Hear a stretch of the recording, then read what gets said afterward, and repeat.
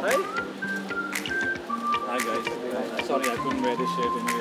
Oh my goodness. Australian rugby legend and 1991 World Cup winning team member David Campese is in Colombo to attend the community rugby events arranged by Zahira College for their centenary Rugby Sevens programs which kicked off on the 31st of January. David Campese, also known as Campo, is a former Australian rugby union player who was capped by the Wallabies 101 times and played 85 tests at wing and 16 at fullback. I have with me Australian rugby legend David Campese and myself being a rugby fan I have a few questions for you uh, David. Why rugby out of all other sports? Uh, look, I was very fortunate to uh, play a lot of sports in Australia when I was growing up in a small town, and um, I played golf, won a golf championship, played cricket, played rugby league, played um, uh, won a golf championship and all that sort of stuff, and played Aussie rules. And then when I was six, 17, I went over and watched the the local fourth grade rugby team. And uh, what happened was I uh, said, "Do you need a fullback?" And I started. So off I went, and here I am.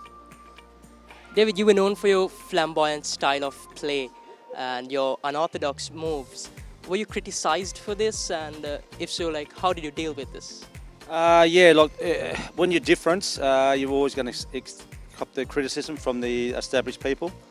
Um, but I was fortunate to play in some great Wallaby teams when I came through in the 80s and 90s, won the World Cup in 91. So uh, I got more probably praise from the Europeans when I went overseas because they uh, probably were pretty boring rugby teams back then. Um, and obviously, they the, the journalists like to see something different. Unfortunately, if you want to be different, there's circumstances uh, and consequences. So, look, you know, I I was one of those players that I just had a great time.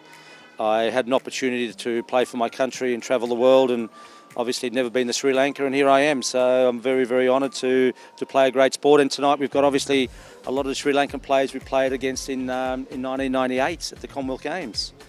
You were also part of a few iconic rugby matches especially the 1991 rugby world cup final give us a bit of the experience you had there the emotions you went through Yeah, it's very it's very interesting that um, you look back now and we we played New Zealand, we beat New, we played Ireland, we beat Ireland in the quarters, we played New Zealand in the semis. So we actually thought we were the world champions because New Zealand were the world champions from the last World Cup. And um, when we went to London, I said to Nick Farr Jones, our first training session, I said, uh, I think we've got a few problems here because mentally we're drained. And when you go through six weeks of rugby, you can't get stronger, you can't get fitter, then it's the mind. So it, the game wasn't a great game, but at the end of the day, we, we won, and it doesn't really matter how, how you play as long as you win. And it was, it was a great moment for Australian rugby, and uh, it's like it was yesterday. david in context of the current game of rugby what are the changes you would make if you had the power to do that uh, to make the game more exciting and accessible Uh, look, it, it's different because we went professional, and then there's different rules came in. Uh, a couple of rules that I would change is the referee shouldn't have a whistle. Number one, that'd be very interesting, wouldn't it? No, I mean, the referee's he's got a lot on his plate. There's a lot of look, things he's got to look at. Um, I would not have a TMO. I think the referee's got to make a decision. Sometimes they're right, sometimes they're wrong. I don't agree with the advantage law. So you can get in the 22, in the half of the opposition. The referee can give you advantage. 30 phases later, and you still got advantage. I think you should have two or three phases, lose it or use it. Um, the 50-20 is a rugby league law. Um, we don't need rugby league players or coaches in our game. We're a unique game. And unfortunately, uh, if we saw the Rugby World Cup last year, uh, a lot of penalties, a lot of time. Rugby used to be 80 minutes, now it could be it's 100 minutes, you know. And um, I just think that what we need to do is just make it where the teams get away from structure and just play what's in front of you and have a great time.